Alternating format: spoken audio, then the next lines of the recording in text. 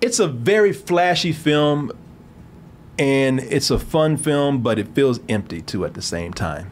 You know, uh, it, it it's it. The only place it's really sincere is with its action.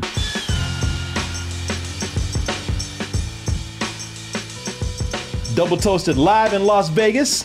That's going to be October 8th, and tickets are finally available. X1entertainment.com forward slash double dash toasted.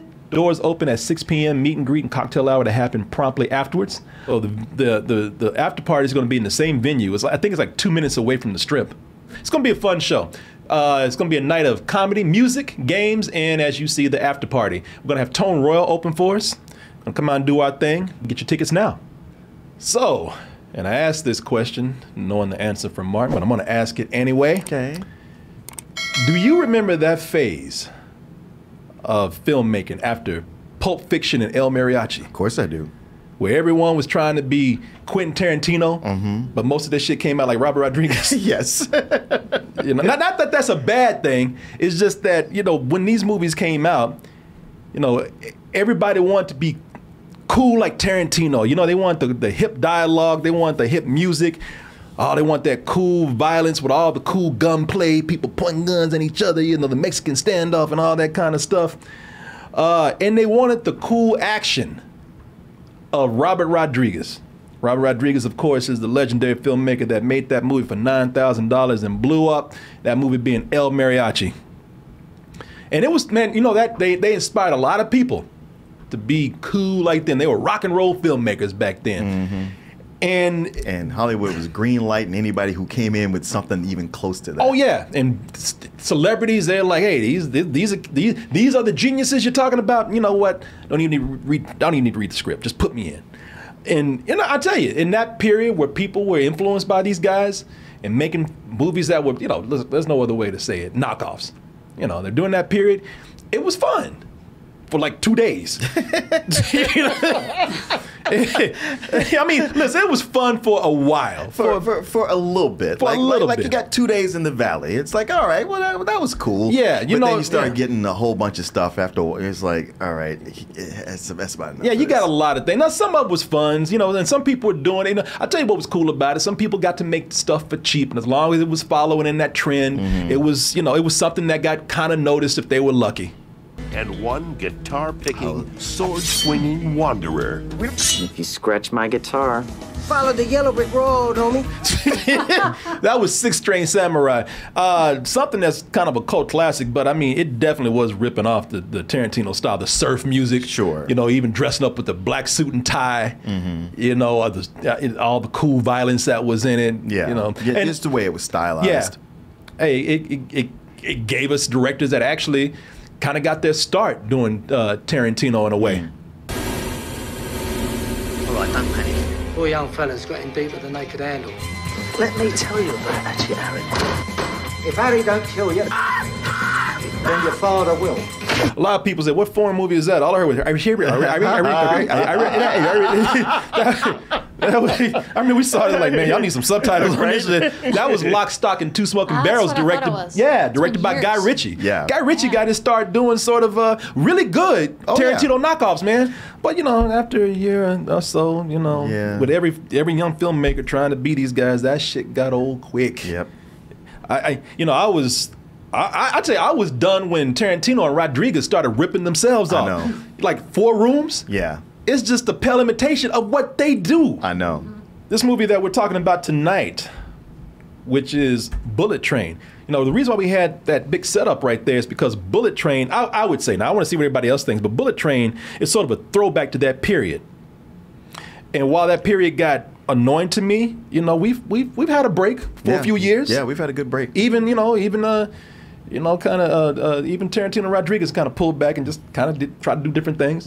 It's a train full of assassins, of cool assassins, all of them trying to kill each other in cool ways, very stylish ways.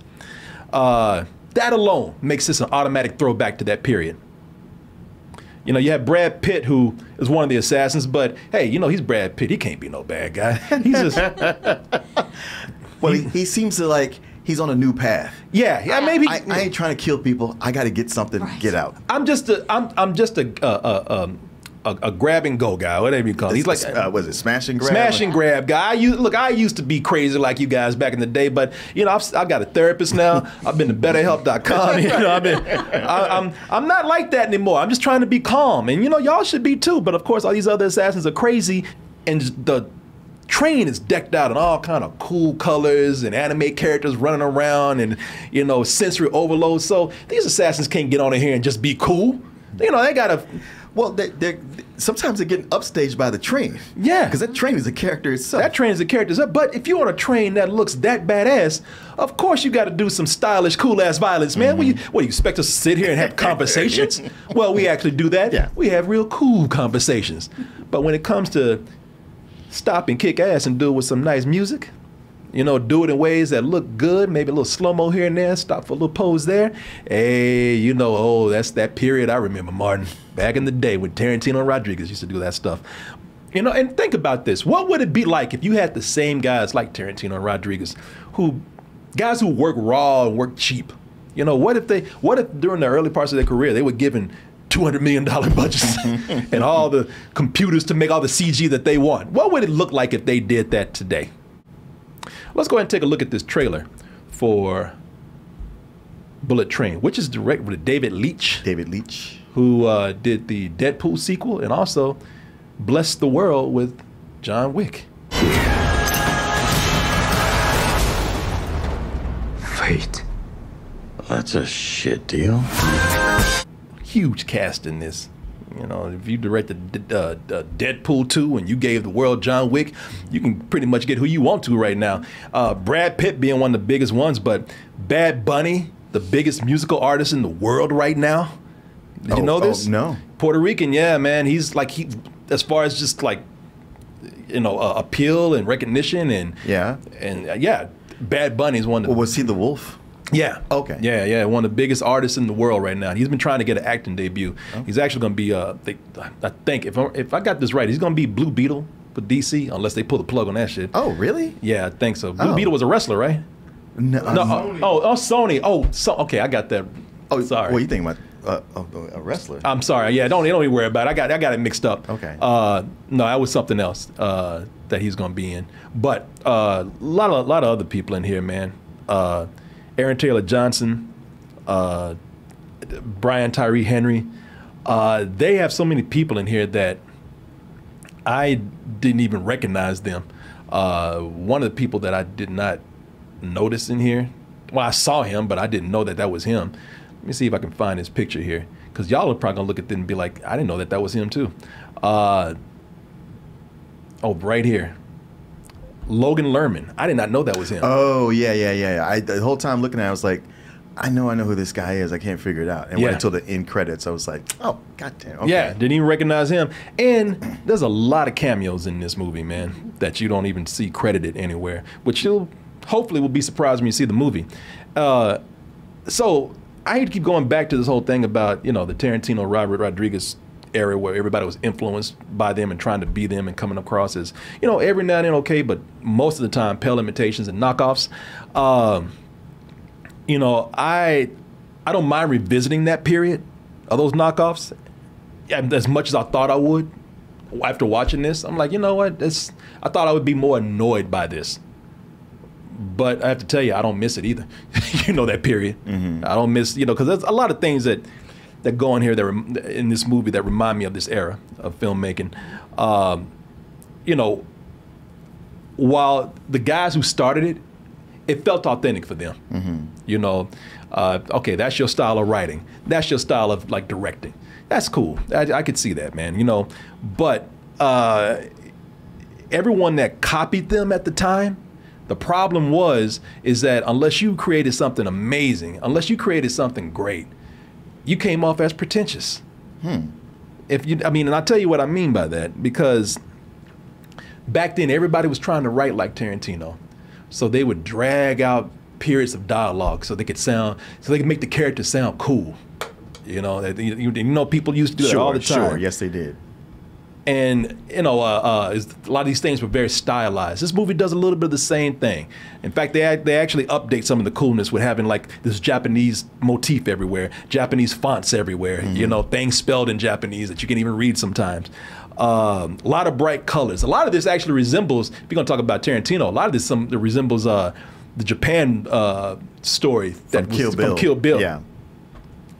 You know, movie does a lot of posturing, man. Swaggering, slow mo shots. You know, while a hip soundtrack plays, all the celebrity cameos that I told you about, uh, and you know, and mostly there's the, the the stylish violence, man. All the the fun gunplay, which also feels a little bit updated here. I would say this, you know, I'm talking about this as compared to those knockoffs back in the day, but hey, the direction here is very cool.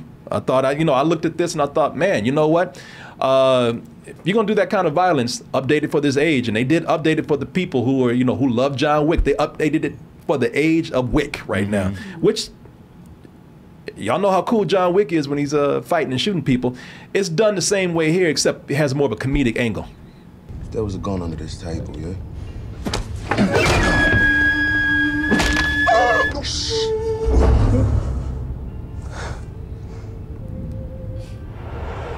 Shit, I thought Karen was gonna get up and start fighting. you blacks never shut up. Uh, you know, uh, and the bloody. I said this has a comedic angle to it, and the bloodier the, the violence gets, the I guess the, the more it's played up for laughs, which is something these people used to do back in the day, because it's so over the top. Yeah. it's way bloodier than you than, than the trailers give uh, give across. I mean, by the end of this movie, like the, the cameraman is splattered in blood. Man, it's so crazy. this movie right here. Yeah, Um, I'm sure the whole crew was wearing tarps. yeah, yeah. now I'm gonna pass this on to Martin, but before I do, I, I, a lot of this stuff didn't really bother me. You know, them trying to be so cool. It can be annoying a little bit when it doesn't feel authentic. But uh, you know, uh, what bothered me about this was everything is a callback in this movie, man. You know, they set up so many things in this movie. You know, we, you know, we, we've seen this. You saw it in Pulp Fiction. Shit, you saw you saw it just not too long ago in uh, Once Upon a Time in Hollywood. Quentin Tarantino's still doing it. The callback where you introduce something early in the movie, like an object, a person, somebody says something, and then it gets brought back later on in the movie where it influences something bigger and crazier.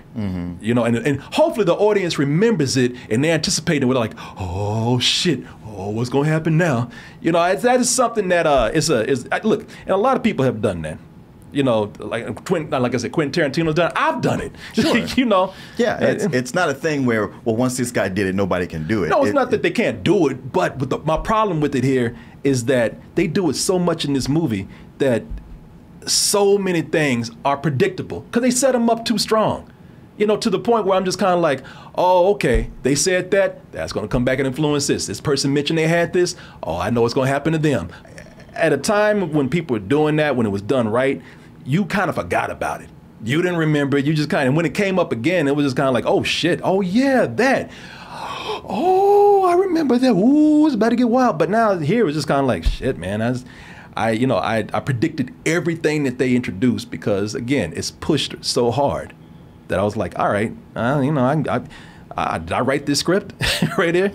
You know, I, I uh, you know, for me, when that's the problem when you try to do something this hard, and I can predict everything that's happening. I thought it was done really well. I I was you know, the the things that you you saw where you're like, okay, I know this is going to come into play. I was like, I know this is going to come back into play, but how?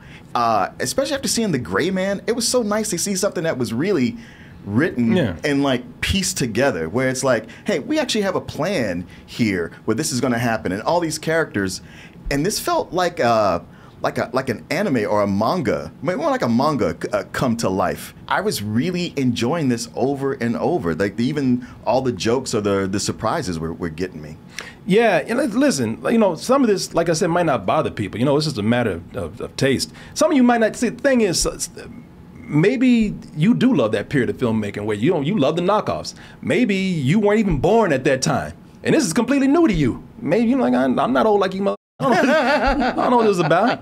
Maybe you find the movie to just be, you know, wacky fun. And I'm, I'm not. I'm not saying that that's a bad thing. Well, I will say that it does get to a point where, you know, what's really going to test you with this movie, and it's something you already said. What's really going to test you with this film is how crazy you are willing to get with this. How long are you going to ride that train? you know, how how far are you willing? Are you going? To, I mean, we're going to take this train all the way because it gets wild, and the tone shift in this movie is insane for a movie that's already insane. Uh, there's a point where there's a character who gets. And I don't want to spoil anything, and I'm being I'm being very vague with this, so I'm not. But this is going to be one of the turning points for a lot of people. This is where you're going to either say, "Let's keep going," or "Can let me off right here," because what happens with this is that there's a character that gets kicked off of, off the train, but he wants to get back on. He still ain't finished with his business. And to get back on that train, does he say stop, pull a lever? No, no. he jumps on the shit. A train, a bullet train, y'all. There's a reason why this movie's called Bullet Train. 275 miles per hour. And this fool jumps on it and is sticking to that shit like Spider Man. and, and, somehow, some way, manages to get kicked back uh, to get to get back on. And from that moment on, since he's on it, was everybody like, well, shit, I can do that too. Uh, physics said, I, I, got somewhere to be anyway. So, you know, it's at, at this point, everybody, you got, but near the end of this movie, you got about 20 guys riding on this train like it's a skateboard. Now, I'm not saying that that's bad. This movie's already set up that this is not, this is an yeah, exaggerated world. I'm not saying that that's a bad thing at all. But I'm just saying, as you said, the movie has, at this point, it's like, well, we're gonna be a cartoon. Let's just go full anime with you, it. You you are absolutely right because it, it is at that point where you riding with it, but there you you have to make a decision. Is this too much for me, or have I been riding it as an anime that's become a cartoon, and do yeah. I want to keep having fun with it? Yeah, because you get it. Listen, once it turns into an anime cartoon, it ain't turning back. It ain't like a one-time incident. No, no. It's not like you know, no. let's just do this and hope you don't remember it, or you know, for the people like it, well, too bad we're not doing this no more. No, they go full-fledged anime with this, and it gets wild. And at that point, you know, you have your decision to make. You know, at that, I'll be honest with you. I looked at it, didn't bother me. The guy jumped on the train, he stayed on there, and I was just like, okay, this is what we doing. All yeah. right. Hey, I, they already set up what what kind right. of world this is. Yeah, yeah. If you were still getting up, this is too much. It's like yeah. you you yeah. were here for the last first uh, hour or so, belief. right? Yeah. You always have to suspend, suspend belief, and then just keep letting it go because it gets, like you said, more. Yeah. More. I'm not gonna sit up here and complain where a bunch of characters look like they came out of Street Fighter anyway, and they getting on this train, and all of a sudden they do some crazy anime shit, and I'm just like, hey, wait a minute, you know, no, I'm not, I'm not gonna do that. I'm okay with it. I'm all right. Uh, you know, like I said, I, I just don't think. I, I think it's. Uh, I think it's trying too hard, and I see through that sometimes. And when I say it's trying too hard, not with the action. The action's cool. It's trying too hard to be cool, and uh, that is they know that is something there. It doesn't bother me to the point where it's kind of like, look at you, you think you better than me. No, it's not like that. It's kind of like I can see through the movie at, at that point, and I don't. And ta- it takes me out when I feel like I'm when I see a film trying too hard, at least in my you know in my eyes. However, one of the things that did keep me interested in this movie, besides the stylish action, was the actors or were the actors. Uh, yeah, um, I was amazed by how many of these actors could pull off convincing British accents. Yeah, Brian Tyree Henry. I mean, look, there's a ton of people in here, and and everybody's. I like that the movie is allowing people to try some different things, are giving first chances to people. You know, uh, you know, uh, Brian Tyree Henry in the movie does a British accent, and hey, and he's he's actually pretty good at it. Mm-hmm. His brother, you know, he studied. Uh, uh, he, he's he's British and didn't tell nobody. but but he wait, Paperboy? Yeah, Paper yeah, Paperboy. Paperboy is Paperboy's been a Brit the whole time. Paperboy been sipping on tea and crumpets this whole time, y'all. Not gin and juice. Not gin and juice. He, he ain't been drinking that that Hennessy. He been sitting up there with his pinky out. Hey, good day, governor. You know all that kind of shit. But his his uh, his accent is is actually very good. Um, also, uh, uh, again tons of people in here, and, they, and, a lot of this is just for the people in here to, to do something fun. Uh, a lot of a lot of the people that you see in this movie, they're cameos. But what I will tell you is that I really did, I really did enjoy uh, Brad Pitt. I love Brad Pitt yeah. in this movie. Great. Brad Pitt is the character that I've been waiting, uh, that I've been wanting in action movies. And like in The Gray Man, I said, you know, the problem with, with uh, with with with uh, uh, uh Ryan, Ryan Gosling. Gosling. is that he's doing all this crazy shit and just just crying about it. I didn't want that, you know, just kind of just acting like nothing's going on. You know, man, wake your ass up. Right. Acknowledge that crazy shit is happening to you. Yes, that, that movie was only alive when Chris Evans was on Yeah, screen. like I- yeah, like I said, your cereal, man, and wake up. and, and have fun with this. Yeah. Because that's the biggest problem. Like Ryan Gosling was not having fun. Yeah, and that movie was even more ridiculous than this one, but nobody's acknowledging it. Yes. Brad Pitt in this movie actually uh, uh, had a lot of fun with this. The reason why I like him in here is because, like I said, he's a character that is that he's he's acknowledging like this is crazy and I don't want to be here.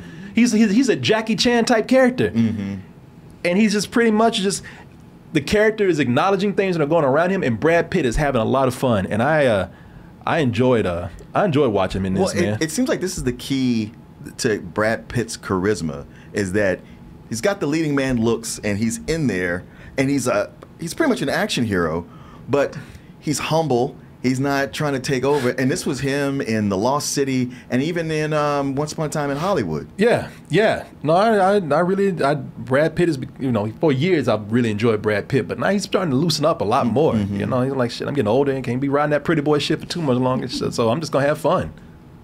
I know who killed the kid. I couldn't give a rat's off. Oh, I would love a bottle of water.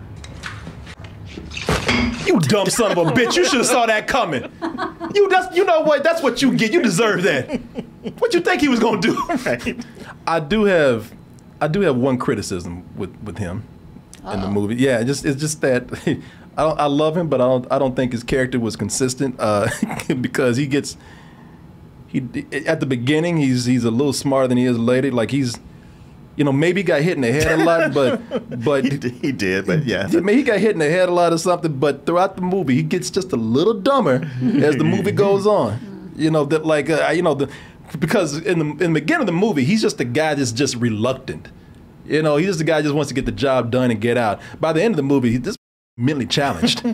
I don't know what happened between then and there. What took Thor five or six years to do to get dumb took him an hour. Like he must have had five concussions or something because at the end he's just he's he's, he's almost like they got the mind of a child. I'm like, what hap- happened to you? Yeah. Uh, but you know, that's that's just something I, I just thought was inconsistent. I but I didn't it didn't make me dislike the character. I will tell you this though, uh, for for the people who are going to see this because they want to see this for Bad Bunny. It's the wolf. if you're going to see it just for Bad Bunny, I'm going to tell you right now, you don't get your money's fully worth because he's he's only in there for a little bit. I'm not going to tell you why or how, but he's it's, it's almost like they, they said you ain't ready to act that much just yet. All right, so yeah, you didn't you know yeah slow your slow your ass down. Now we gonna we gonna we gonna break you in a little bit, but you don't you know you ain't getting no big role in here now. Consider this a screen test. Yeah, exactly. yeah, you know, slow your ass down. But he's, he, you know, I, I can't tell you whether he's bad or not because I, I don't speak Espanol. But he, you know, he's uh, because he's speaking mostly Spanish in this. Right, But he does have a cool segment in Well, it. I think he's got, you know, who who knows how he delivers lines, but he's got great presence. He does. No, there's a reason why this guy is one of the, the most popular performers in the world right now. Because I mean, look, he's got charisma. You know, I mean, that's there's there's no, and he's got a look. There's no doubt about that. You know, and he does. Uh, and, and hey, look, the action that they give him and the little bit of lines he has to say, I don't know what he's saying, but it looks like he's saying them good, uh, doing them well. So yeah, you know, it's. Uh, and I thought it was a good role for him because he doesn't have to speak a lot. Where it sounded like I might not have liked this movie before. Yes, there are some things that annoy me, and I'm just this, you know, in this kind of filmmaking for me today is, you know, the that again the throwback to the Tarantino and Rodriguez ripoff era. I, it's it's not something I'm a big fan of, so it's personal with me. However, I can say that uh, the movie is fun, man. You know, I. I it's fun, but I can feel it trying too hard.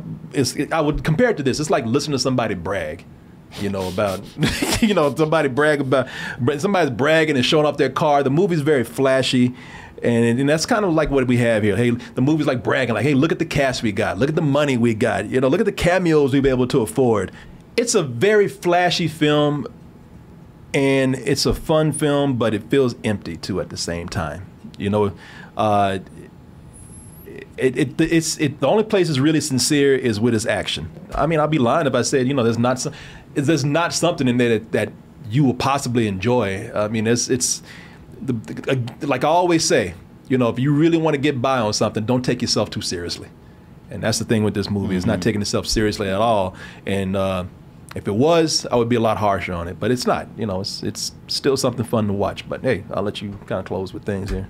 Uh, yeah. Well, once again, I had so so so much fun with this movie, and it being a throwback to those those '90s movies that you talked about, it was kind of fun to revisit it in something that was good because we had a point where they they just kind of got half-assed, and yeah, you brought up Kill Bill. I just thought, man, watching this makes me think. Like, I'm not a big fan of the Kill Bill movies, but the way people are, I felt like, okay, I feel like when they watch Kill Bill, they get what I get watching this. It's as flashy as this is, and as much as it's bragging, it just didn't fall into what I feel uh, Tarantino will get kind of self-indulgent with, and and this constantly kept moving, and the train itself is a character, and it's there's so much they they build these characters that are short, but they give them a lot of backstory, and it really felt them. Just that the actors brought them to life and and, and even some that I was like, I don't like you. And then by the later, I was like, all right, I, I, I, I like this guy. I like I, I know I like the characters when I'm at a point where oh, I don't want any I don't want them to die. Yeah. And it ended up being a whole lot of those. And yeah, we don't even mention everybody in it. Uh, my really my biggest complaint is that is a point when it was about to wrap up and then they went, Whoa, yeah. we gotta have the big finale. And I was like, all right, I didn't necessarily need the big finale. It was entertaining. I, I laughed all through it, but I, you know, I, I was like, I, I didn't need that. It could have it could have yeah. stopped earlier than that. But other than that, I had a great time in this. What would you give it? I would give it a, a full price. Yeah, well, I'm a big dip from that. Uh, one of the reasons why, if this movie was shorter, I'd probably be giving it more. But this, it's way too long for me. that's a big thing with it. Uh, but you've heard everything I had to say about this, man. Uh, you know, I don't. I don't know until they come out with bullet plane or bullet bus or something. You know, you know, you know, man. You know, my advice for that would be to cut a little bit shorter. But uh, yeah, man, I don't know. Maybe after being, you know, just so many Fast and Furious movies, which by the way, I think this has a lot more personality than those movies. So I would give it credit for that. Uh, but yeah, it's something I wouldn't feel the need to rush out and see. So I would give this a high rental. I don't want to, I don't want to deter anybody from watching this. I think a lot of people might go, and it might be worth the matinee for them. Keep in mind, it's just a personal thing with me, so I don't want to deter anybody from going to the theater. When I say don't go to the theater, I just like like I would not feel the need to watch this on the big screen, but uh, I think a lot of people might. So just you know, make up your own decision with this. It's just a personal rating of mine, uh, high rental, and then that's a good that's a good rental, man. It's a good thing. It's not like I'm. You know, if it was on Rotten Tomatoes, it would still be fresh. You know, we, we, we wouldn't be throwing tomatoes at anybody. It wouldn't be no splat.